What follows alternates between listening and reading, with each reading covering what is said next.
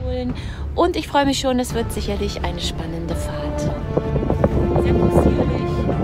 Schöner Segeltag. Jetzt nochmal, bevor die Leine ver verfängt. Umso schöner ist es. Ein herrliches Blau. Ich liebe es.